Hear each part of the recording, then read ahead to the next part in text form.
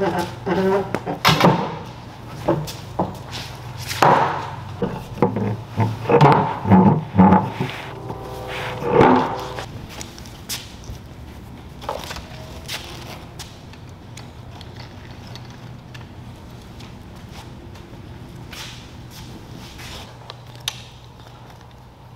New photography backdrop, nothing major, but I still always get excited when it comes to new gear. And speaking of new gear, today we're gonna be talking about my favorite lens. Yeah.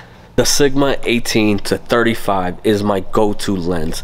This lens rarely comes off of my camera if you are an upcoming video director or filmmaker, videographer, and you're looking for a new lens, right? You got your camera and it comes with that, that kit lens and you wanna upgrade, the Sigma 18 to 35 is the way to go. If you're looking to get pointed in the right direction, this is the way to go if you have an EF mount. This lens is amazing. I'm gonna link it down in the description below as well. So if you wanna copy it, just click on that link. But yeah, this lens has traveled all over the country with me and it's just a beast and it rarely comes off of my camera. Okay so why is this lens so great man? It's an 18 to 35 so the 18 is nice and and just wide enough for your wide shots and the 35 is just close enough for your close-up shots. You know you put it at 35 and you get close to your subject you'll get a nice tight shot. And on top of that, this lens is a f1.8, which means it's gonna be great in low light.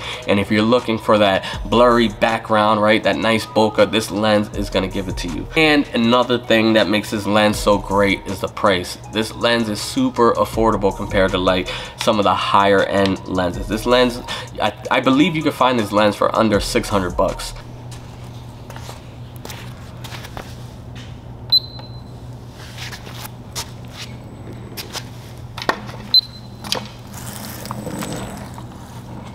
And I know some of you guys are probably like, but Mike, we don't have a Canon camera. We don't have an EF mount. We don't have a Black Magic or a red like you. We have the Sony a6000 that you recommended two years ago, right? So I got you guys. If you're rocking the Sony a6000 or the a6400, any of those Sony crop sensor cameras, buy the Sigma 16 millimeter f1.4 if you already haven't. That lens is amazing and literally took me to the next level in my career as a filmmaker.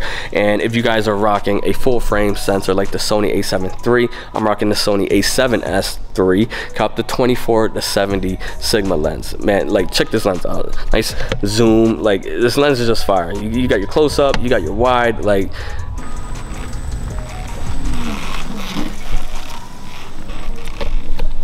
man this thing is so fire and i didn't buy it for the reasons you think i bought it. I didn't buy it for fun. I bought it for filmmaking to get nice slow shots but i love just flying around this warehouse with it. It's just like a stress reliever.